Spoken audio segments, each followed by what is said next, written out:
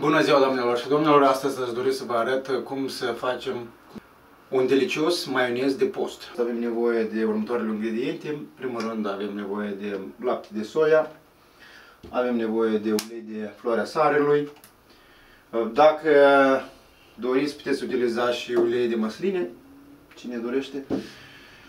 După aceea mai avem nevoie și de piper, avem nevoie și de muștar și o lămâiță.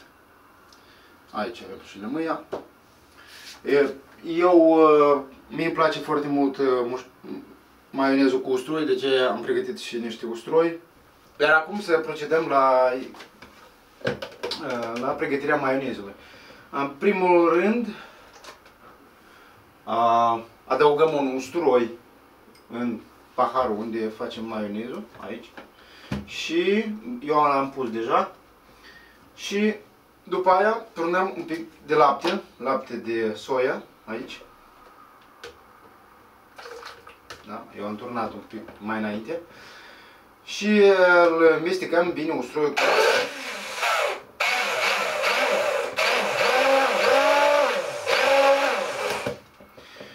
După ce am amestecat usturoiul cu laptele de soia, turnăm puțin câte puțin ulei de floarea sarelui.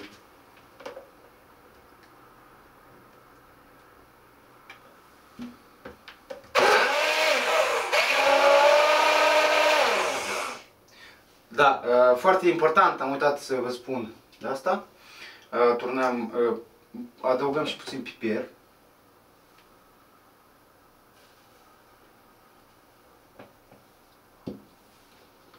Și lămâie. Stoarțim lămâie aici. Să-i dea un gust mai special.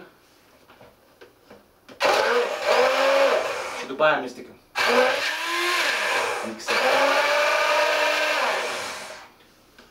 Amestecăm, uh, punem un pic de ulei, după aceea amestecăm și tot așa nu, nu vă recomand să puneți tot uleiul deodată, că nu o să, nu să, vă, nu o să reușiți să faceți maionezul. Puneți câte puțin și după aceea mestecați.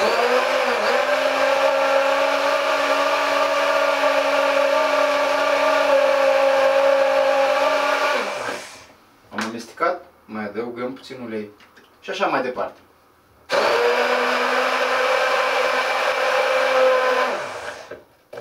Ar trebui să mixăm uh, acest conținut uh, până când obținem o masă mai vârtoasă.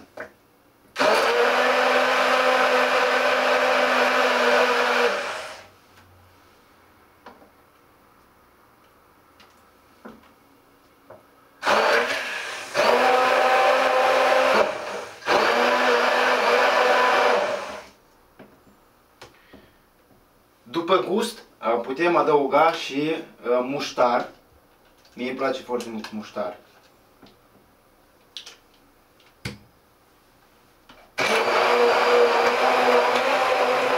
Masa bătrasă, putem uh, să și probăm acest maionez.